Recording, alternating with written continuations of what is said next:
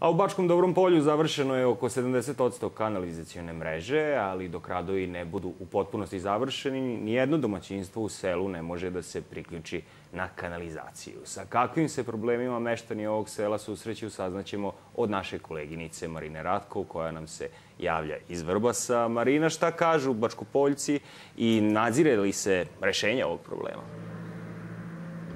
Sa oko 4000 stanovnika Bačkog Dobrog polja postoji nada da će se uskoro rešiti dugogodišnji problem sa otpadnim vodama. Sredstva za nastavak izgradnje kanalizacije konačno su obezbeđena i očekuje se da će radovi početi ove godine. Predlažem da pogledamo prilog.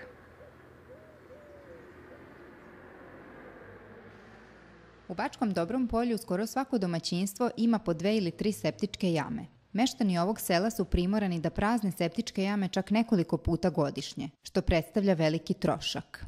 Nakon godinu, dve dana upotrebe ona počne da se preljeva.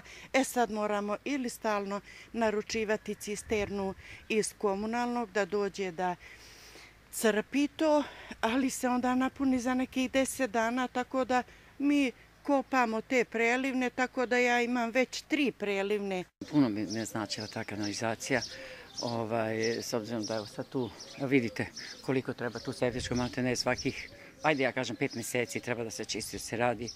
Sad smo u plani da se uradi prelivna, veliki su troškovi, sve puno bi nam značilo.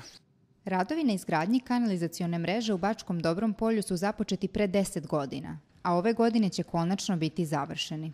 Opština Vrbas je obezbedila 19,7 miliona dinara za nastavak radova od Pokrajinskog sekretarijata za poljoprivredu, vodoprivredu i šumarstvo, a planira se i izgradnja sistema odvođenja otpadnih voda u svim naseljima opštine. Sredstva koja su potrebna za završetak kompletne kanalizacione mreže su 5,5 do 6 miliona eura. Sredstva su većinom obezbeđena iz Kancelarije za upravljanje javnim ulaganjima, naravno preko vlade Republike Srbije i preko pokrajinske vlade, preko nadležnih sekretarijata i što je jako bitno da je sam grad pokriven kompletnom kanalizacijom, dok, kako sam rekao, za naseljena mesta u narednom periodu nas očekuje realizacija samog projekta, naravno po raspisanoj javnoj nabavci krenut će se i sa realizacijom u Bačkom Dobrom polju.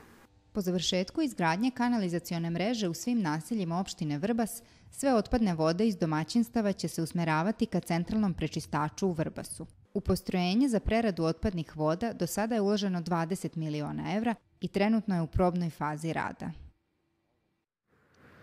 Nakon što se sve komunalne i otpadne vode iz industrije i domaćinstava priključe na centralni prečistač, e, moglo bi se krenuti i sa remedijacijom Velikog Bačkog kanala. Toliko za ovo javljanje.